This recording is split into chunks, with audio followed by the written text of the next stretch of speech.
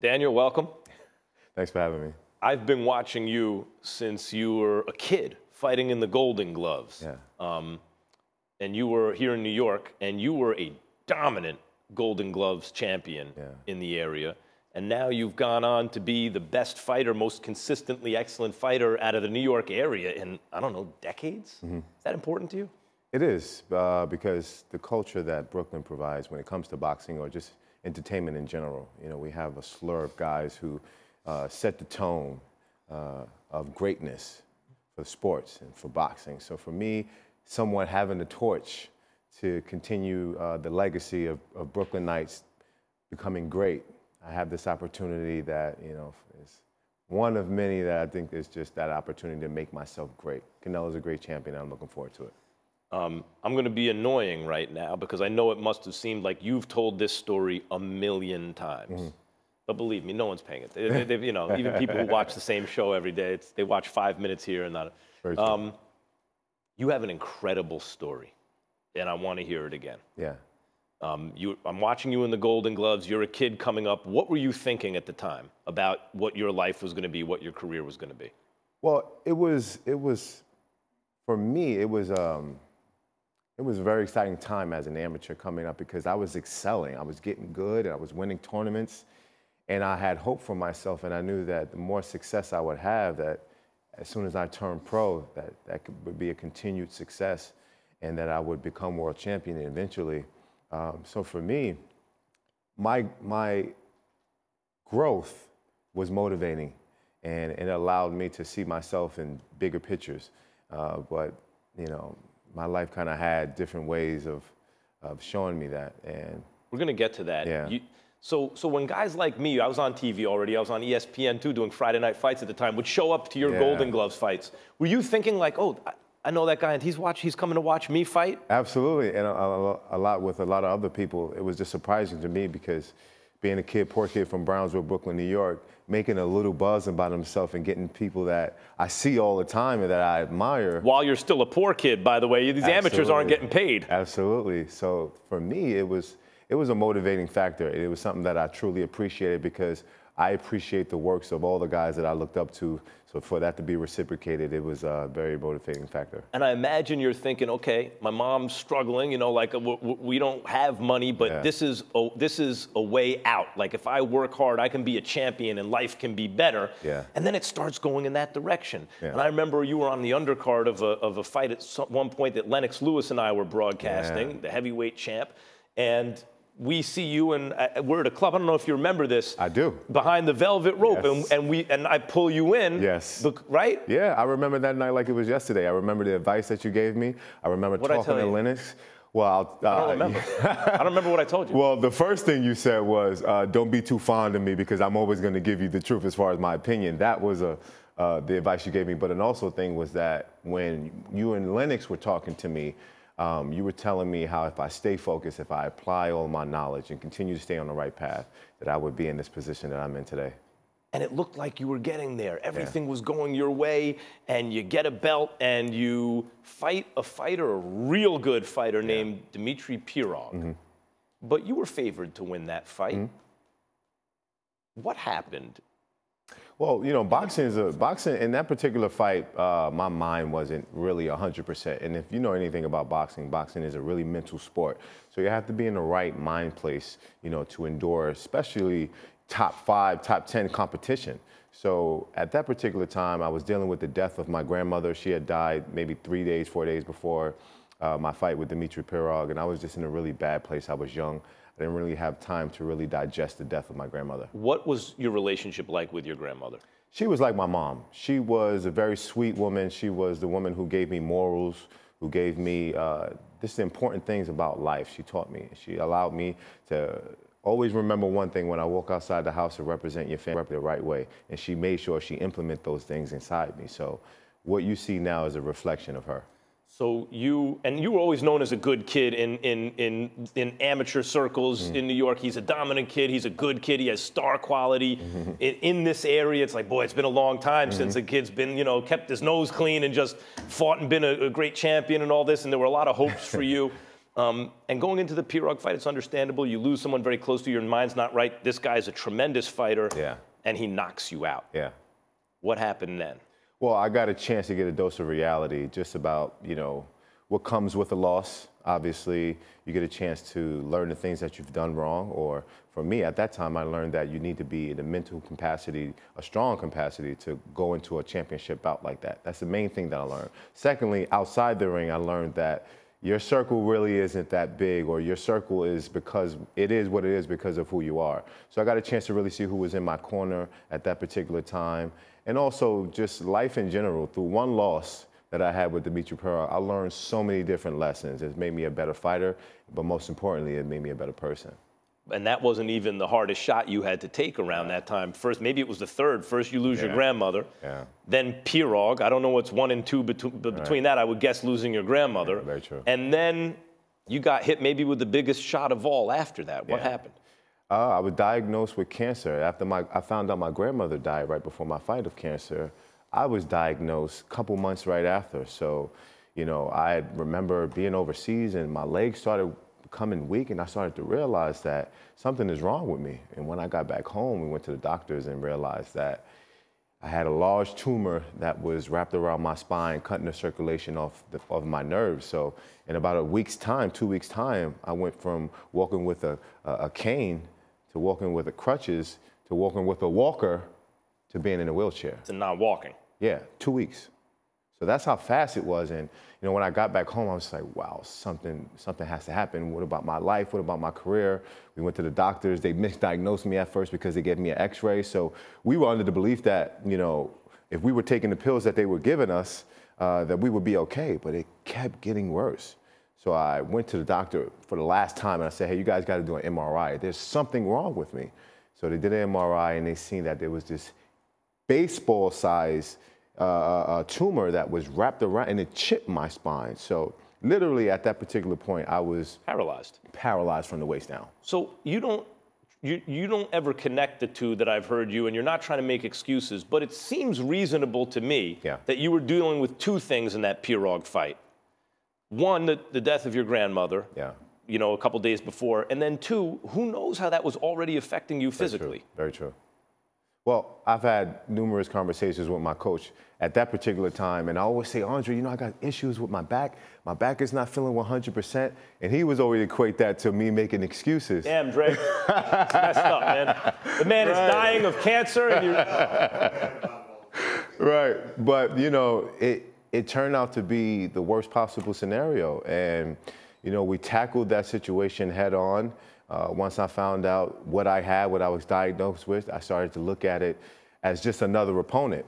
And I took it head on and, and we became the victor. It was tough, you know, the process of learning how to walk again, physically, being weak and not even being able to lift a dumbbell. That's doctors tell you you could fight again? They told me I would never be able to fight again. Those were their exact words. You have to look for another career or something to bring some success to you because boxing is out. And you hadn't made big money, but as you said, from a, for, for a poor kid from, from um, Brownsville, Yeah. it was good money. You're seeing six figure paychecks, but Mm-hmm. Yeah. that doesn't last forever. Absolutely. What was it like financially after you're told you might die? Yeah. Even if you don't, you ain't gonna box again. Yeah. And you don't have your title, you lost that in the ring. Yeah. And your grandmother's gone, obviously. And how's your financial situation at that point? Well, it was it was all downhill from that point on. Once I realized that I had cancer, I mean, we had to come out of pocket with a lot of different things. It was the worst turn for me ever. Uh, wasn't the best at managing money at the time, with little advice, if any. Um, so I had to actually sell my car. Had to move back into Brownsville, being a you know a top five, top ten uh, contender in the game at that point. So I had to suck my pride up and move back in with mom to physically get the help that I that I needed. And just that period of time, it, it really taught me a lot about myself. But at the, you know, it was so so so hard. And as a man, especially the success that I've gained and being who I was at that time, it was very very prideful to deal with that. So there had to come a turning point at some point Yeah. where you knew, okay, I'm cancer free. Yeah. Okay, I can walk. All right, I can fight. Tell me about that. Well, I've always said that I wanted to get back into the sport of boxing. It was my dream. It was my, my place of happiness. but I wouldn't put myself in a position if I wasn't 100%. So I remember going through all these different trainings in New York, coming back with Andre. Um, I told Dre, I said, hey, listen, I'm going to do this again. He thought I was crazy for even coming down to the gym with my back brace and my cane, but he helped me, and uh, we was there every day, and every day we would make small progression. And it got to a point where I said, hey, Dre, I think I'm ready to actually spar. And when we sparred, I mean, I got hit by this 130 pounder. It almost dropped me. My legs were, you know. So I was just like, man, uh, do I really want to get back to this sport? There's so many challenges. My body's not feeling 100%. But I just stuck with it. You know, I kept coming to the gym. I kept giving it my all, and we got to a place where I was able to move a little bit better. And then finally, months later, I was like, you know what, Jerry? I think I'm ready for a fight. So we called our doctors, we called everybody. We got the clearance, which took a long time because, like I said, the doctors thought I was crazy for even coming back to the gym. So they gave me the clearance after seeing that I was 100%, rather 80%. I don't even know if I'm still 100% to this day, but um, they allowed me to be clear for fights. And when we got back, it was the happiest feeling, the happiest place that I could ever be in.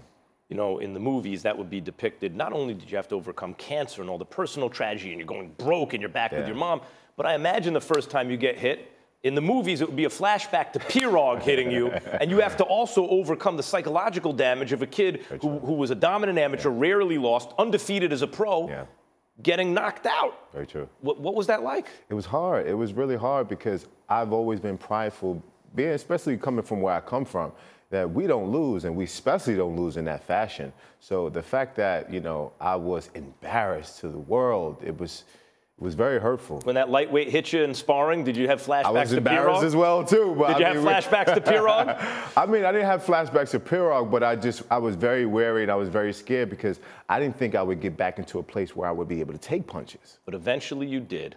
Yeah. And you started winning fights. Mm-hmm. And you became a top contender. Yeah and you get a shot at Peter Quillin, Kid yeah. Chocolate, another another Brooklyn fighter, another yeah. New York fighter, and I think he was favored going into that fight, if yeah, I'm not he mistaken. Was, he was the champion at the time. He was also uh, one of the strongest competitors that I've ever faced. He was knocking out guys left and right. He sent Winky Wright into retirement. I mean, this guy was really good. So going into the fight, it was it was brought up and promoted as the Battle of Brooklyn, and that was a very exciting time for me because I knew deep down inside I sparred Peter Quillin a couple, uh, maybe a couple years back, and I got the best of him. So all this facade that everybody was seeing, I was just like, man. And then I it was ding, guy. ding, oh, round yeah. one. Then what happened? I showed the world exactly what I had, and that grit, that true talent inside, showed up in the. I mean, I was surprised too that it happened so fast. But first round, you yes. heard him, and, and are you thinking, "Ooh, he's not getting out of this round"? Yes, because with a guy like that I remember him throwing a punch at me and it nearly grazed me, but the wind, I said, I cannot get hit by this guy. Talking to myself inside the fight. I was like, wow, okay, how do we do this? How do we survive round one? And then I just hit him with a shot. And I was like, whoa, is he hurt? I thought he was like, you know, playing around, but then we went after him. My coach Andre was like, get up. He was yelling, you know, rumble. That's our code. Rumble. And we rumbled. We were putting out punches in bunches. I hit him with a nice overhand right. The referee seeing that he was incoherent. Fight was over. You say we a lot, yeah. like like um, like there's a team in there. I know Andre, but it's you, isn't it? Yeah. That, it's not we went after him, you went after him. Boxing is, when you boil it down, it's one on one. Yeah, very true. I say that too because I, I, feel as if we're all in the ring together. I keep communications with my trainer. We have a very, very intact uh, relationship when it comes to uh, our communication inside that ring. So we're all in there together. And as a result of that win and your continuing ascension, mm-hmm. you eventually become what was supposed to be an excellent opponent, but still an opponent yeah. for Triple G. Yeah. Gennady Golovkin at the time was considered by some pound for pound the best, but among the best, and certainly a dominant right. knockout artist. Very true. Who the only reason he hadn't already beaten all the top middleweights is because he hadn't gotten a crack at all the top middleweights, even though he was champion. Yeah. And you guys at Madison Square Garden, big crowd, undefeated Gennady Golovkin. Yeah. Daniel Jacobs from Brownsville, you know, right? Who got yes, who who wound up with a tumor wrapped around his spine, mm-hmm. knocked out by Pirog, flat broke, told he'd never box oh, again. Yeah is on the big stage against the most feared fighter on planet Earth. Yeah, it was. Uh, it was a lot to digest too because they had made him up to be the biggest puncher, the most powerful, the most strongest guy that I could ever face. So forget the challenges that I had prior to. I was getting in the biggest battle that I have ever faced in my career. So that was a challenge in itself, just digesting that. And then when I'm winning there, you know, the belief started to grow and you can see it round by round. And I'm just looking at this guy like he's not cracked up to what everybody made him to be. And the belief started to grow and I started to become very more confident. I started to push him back. And that's when you guys got a chance to really see what is inside Daniel Jacobs because you've seen a Gennady Golovkin that you've never seen before be pushed back for the first time, uh, not land his power punches like he's used to. And we minimized Golovkin to a jab. So that for me said a lot. Regardless of if people say I won the fight or if they say Golovkin won the fight, it was a close competitive fight. But at the end, I gained the respect of the fans, and that's what I'm happy of. And by the way, you, you even you don't even mention this. You got up off the deck against Golovkin to finish that fight in a way that some people thought, including you, thought yeah. you won. I thought he won close, partly yeah. because of that knockdown, but you got up off the deck yeah. to do that against Triple G. Very true. It was, for me, it was my proving moment because when I got knocked down, it wasn't a hard shot. It, it, for me, it was more of a push, and I'm, I knew it was technically a knockdown, but when I got up, I said, he's going to have to kill me in order to put me away. And that's the mentality. You can see it from me screaming at him to me flaring up and banging with him. I mean, no one bangs with Golovkin. So, proud moment for me. You are a very good fighter. You're an excellent fighter. Thank you. The question is whether you're going to be a great fighter or not. Right. And you're going to have to have some signature wins, not just Kid Chocolate, whose yeah. career, by the way, wasn't going in a great direction in retrospect at the time. Mm-hmm and not just a close loss to Triple G. Mm-hmm. You're going to have to win those big fights, like against Canelo, and sure. we're going to get to that in a second. But I've called a bunch of your fights as a pro, mm-hmm. and first through the first three or four rounds, boy, you look like a pound for pound type of fighter, right? You look like a great fighter. Yeah. And then somehow I pick my head up after the seven, eight, 10, 11 rounds go by, and I go, Daniel's winning the fight. Mm. He's an excellent fighter but I don't feel right now the way I felt after three or four rounds. Mm-hmm. mm-hmm. And yet, against Golovkin, the most dangerous fighter, who, who no one was challenging him at the time, no one was winning rounds from him, you were able to maintain the focus that a great fighter needs round after round after round, no mistakes. Right. Why haven't you been able to reproduce that level of discipline against fighters who aren't Gennady Golovkin?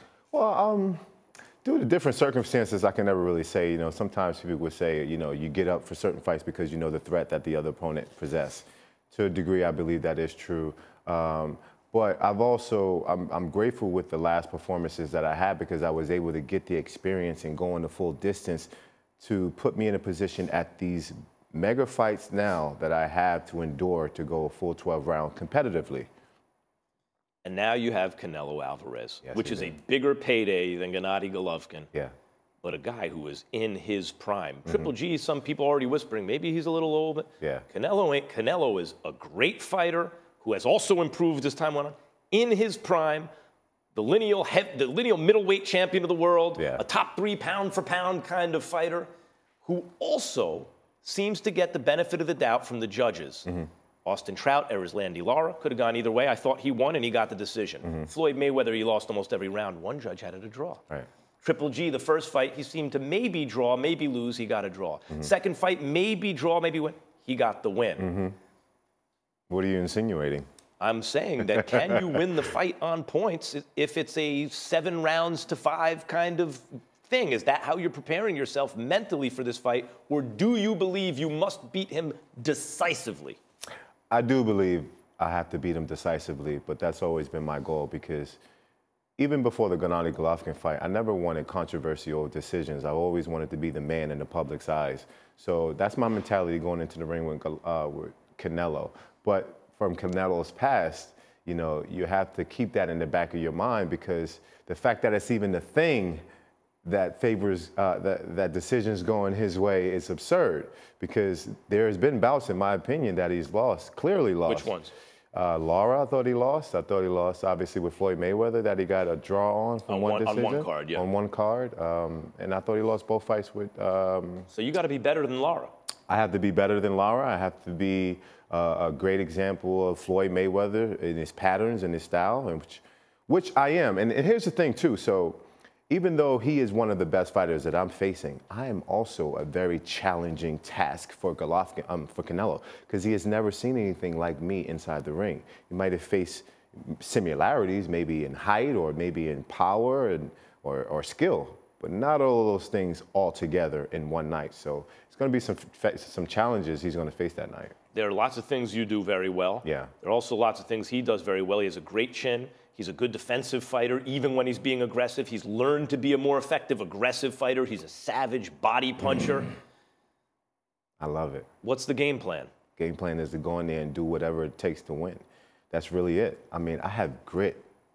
I have seen the bottom of the bottom. There's no reason for me not to go in there and not put my best foot forward. So all of this, I mean, even the Mexican chants. We were at the press conference yesterday, and they were chanting his name, and I just got like, mm, I want it. I'm so inspired by this. I'm so motivated by this. I must be king. And if you do somehow get by Canelo and, and get out of there with a win, mm-hmm. Not just in a good fight, oh, Daniel Jacobs, oh, he came up, maybe he right. won the fight, but Canelo got, but if you actually win officially, right. Demetrius Andrade is out there, mm-hmm. Callum Smith mm-hmm. in the heavier weight class, Do you plan on staying at middleweight? Is there unfinished business at middleweight? Do you want to prove oh, of course. swimming with these sharks in a very deep division that you are the baddest dude? Absolutely. Are you looking north at super middleweight? You are a big middleweight? So here's the thing. I'm grateful to be in this position that I'm in because the middleweight division is so stacked right now. I mean, me and Canelo are champions, but there's still another champion out there. So the fact that we have options and the fact that Golovkin's still out there and he wants a belt and he's needing of an opportunity to prove himself – there's other options. So for me, securing this victory, hopefully they want another rematch when we do a rematch, look for other options. But I'm not thinking of anything else after this until it actually happens. Because this is a dream fight for me. This is a dream come true to get this fight of this status, the fight of this caliber, the fight of this talent level. So Canelo offers all of that, and my focus cannot. It would be disrespectful to even think about anybody else after him. Last one. Yeah. Have you improved since the Golovkin fight? Can you fight better than that, and how? I have improved uh, experience wise, um, but in just my last couple of fights, I had to use my experience in different ways. So you're seeing different styles that I've brought to the table in all my last, by the way, I fought three undefeated guys in a row um, that no one really want that the road that I took no one wants to take. That's right. And I showed different styles of myself. So if you haven't seen the best Daniel Jacobs, you're going to see me put all of those things together May 4th because I have to in order to go against a guy like this with this caliber, with this skill level, with the relentless that he the, the mindset that he has and with Vegas on the side. so I have to make sure that I uh, put my best foot forward and go in there. And if I can stop him, then it's no question uh, whatsoever. yeah, I lied. There's one yeah. more. You think you can knock him out? I do believe I can knock him out. I think I can be the only one to knock him out. Golovkin hit him uh, uh, with some good shots. He was able to take it. But he's seen all the shots that Golovkin hit him with. I'm a faster guy with, I won't say more, but just as much power as Golovkin. So if you can't see the things that come with the power and velocity that which I throw them, then that's going to be a long night. As you know Canelo. from your life experience, the yeah. shot that, hit, that hurts you is the one you don't see coming, Absolutely. right? And then the question is, can you get up? And you got up and you're making New York proud. Daniel Thank Jacobs, you. thanks for coming on. I appreciate you. Thank you.